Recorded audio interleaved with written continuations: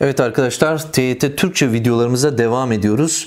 E, 40'ta 40 iddiamızla Yüksek YouTube kanalında e, iddiamız büyük. Hadi bakalım vakit kaybetmeden çekim eklerine devam edelim. 17. videodayız TYT Türkçe videolarında. Ee, soru 2, eşitlik 2, vasıta 2 ve çoğul ekinden bahsedeceğiz. Hızlıca çok vaktinizi almayacağım. Biliyorum e, bu konulara eminim hakimsiniz. Min soru 2 biliyorsunuz min soru 2 daima ayrı yazılır ve ardından e, kip 2 alabilir, şahıs 2 alabilir. Bunu da belirtelim. Hem isimlere hem de fiillere getirilen bir çekim eki olduğunu söyleyebiliriz. Bu anlamda e, bu çekim ekimiz e, çift özelliğe sahip. Yani fiillere de gelmekte, isimlerin üzerine de gelmekte ama daima ayrı yazılmakta.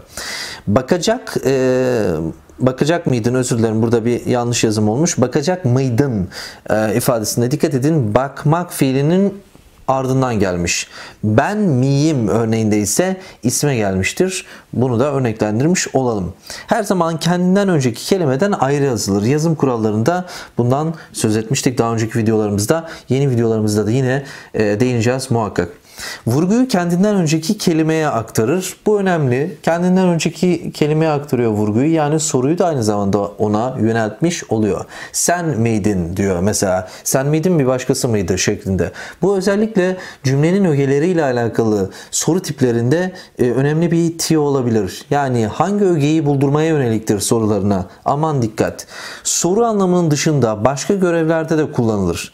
Yani Örneğin güzel mi güzel bir yer burası derken pekiştirme, anlamı kuvvetlendirme açısından kullanıldığının farkındasınız.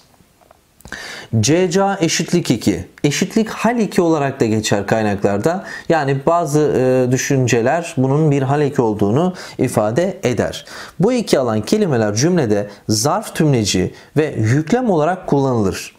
Zarf tümleci ve yüklem olarak. Bence, Dikkat edin bana göre edatın yerini tutuyor aynı zamanda. Bu açıdan da sorulabilir. Sertçe, kapıyı sertçe kapattı. Nasıl kapattı?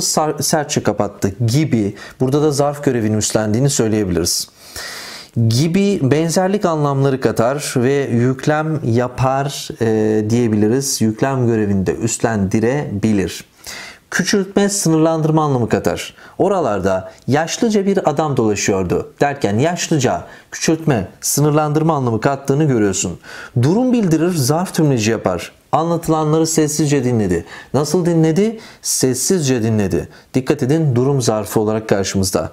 Birliktelik beraberlik anlamı katar. Bu kararı sınıfça aldık. Yani sınıfça birlikte aldık, sınıf olarak aldık anlamında kullanılmış arkadaşlar. Bu açıdan da kelimede anlam e, şeklinde, cümlede anlam şeklinde karşımıza çıkabilir. Buna dikkat.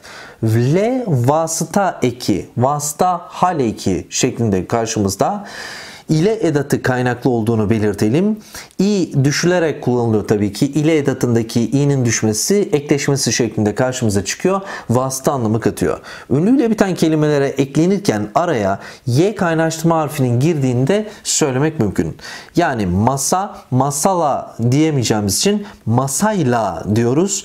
Ee, bunu söyleyelim. Araya kaynaştırma yardımcı ünsüz dediğimiz harf giriyor arkadaşlar.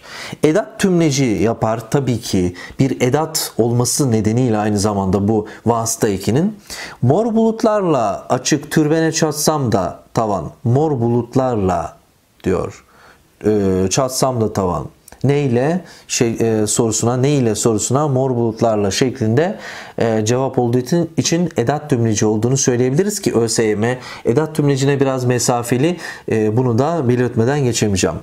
Durum bildirir ve zarf tümleci yapar. Ayağına gelen topa hızla vurdu. Nasıl vurdu? Hızla vurdu derken hızla aynı zamanda nasıl sorusuna cevap verdiği için fiile yönelttiğimiz durum zarfıdır. Bunu belirtelim.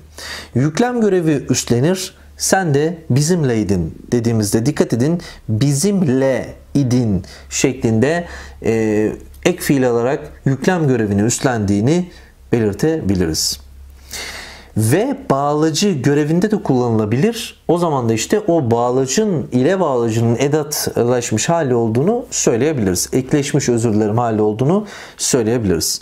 E, yerine V getirdiğimizde anlamlıysa bunun bağlaç olduğunu biliyorsun zaten e, bağlaçlar başlığında. Annemle babam, annem ve babam dikkat edin ve bağlacının görevini üstlenmiş burada. Bağlaç edat konusunda da karşımıza çıkabilecek bir soru tipi. Kelimede anlam e, açısından da karşımıza yine çıkabilir. Sebep ve zaman bildirir. Baharın gelmesiyle çiçekler açtı. Dikkat edin bu sefer de e, zarf görevini üstlendiğini e, söyleyebiliriz. Çoğul ekinin e, larler olduğunu e, biliyoruz ki bunun dışında da çeşitli anlamlar üstlendiğini, örneğin aile anlamı kattığını biliyoruz. İşte Haluklar bize gelecek dediğimizde Haluk ve ailesi bize gelecek anlamında kullanılmıştır ki burada kendime torpil geçtim arkadaşlar bu örnekte. Farkında olduğunuz gibi. Evet, e, nesnelerin, kavramların çoğul şekillerini vermek için e, bu çoğul eki, çokluk eki kullanılıyor. Benzerleri anlamı da katar. Kesme işaretiyle ayırarak yazarız bu tip durumlarda. Eğer benzerleri anlamında kullanılıyorsa e, buna dikkat. Bu millet nice fatihler, kemaller yetiştirecektir dediğimizde dikkat edin e, benzerleri anlamında kullanıldığı için bu sefer e, kesme işareti kullandık. Ama az önceki örnekte gılgil anlamında kullanıldığı için yani yapım eki anlamında kullanıldığı için özel isme geldiğinde kesme işareti kullanmadık. Buna da dikkat. Aynı ismi taşıyanları belirtir. Sınıftaki Ahmetler ayağa kalksın dediğimizde dikkat edin burada da kesme işareti kullandık. Aman dikkat sadece gılgil anlamında kullandığımızda e, kesme işaretini kullanmadık. Abartma anlamı katar. Buradan Almanyalara gittiler derken dikkat saygı veya alay anlamı katar. Dostumuz nedense bizi çağırmamışlar. Çağırmamışlar. Dostumuz nedense bizi çağırmamışlar dediğimizde burada da saygı anlamı e, katıyor. Her anlamı kadar pazarları buna da dikkat e, arkadaşlar. Şimdi yalnız burada çağırmamışlardaki e, buradaki ların e, çoğul eki olmadığını belirteyim. E, burada bir yanlış örneğimiz olmuş. Bu e, bizi hataya götürmesin. E, biz burada müdür beyler diyebiliriz. Değil mi? Müdür beyler. E, işte şeklinde ifade edersek doğru olur. Çünkü çağırmamışlar örneğinde e, şahıs iki olanlardan bahsediyoruz ki onunla da karıştırmamışlardır. Şey karıştırmamamız gerekir şeklinde örneğimizi düzeltelim arkadaşlar. Burada işte müdür beyler, küçük beyler gibi örneklerde işte bir küçümseme, bir alay veya saygı anlamında kullanabiliriz bunu. Ee, onu söyleyelim. Pazarları dedik her pazar anlamında kullandık burada da her anlamını katıyor. Arkadaşlar videolarımız devam edecek. Tüm hızıyla yepyeni videolarla soru tahmin videolarıyla karşınıza çıkacağız. TYT Türkçe'de 40'ta 40 iddiamız devam edecek. Ee, bunu başaracağız. AYT Edebiyat videolarımıza da kesinlikle bakın. Ee, çünkü orada da inanılmaz bir iddiamız var. Her iki kulvarda da Türkçe ve Edebiyat kulvarında kesinlikle iddialıyız. Biz bu işi başaracağız. Yine geçen yıllarda yaptığımız gibi. Görüşmek üzere. Kendinize iyi bakın.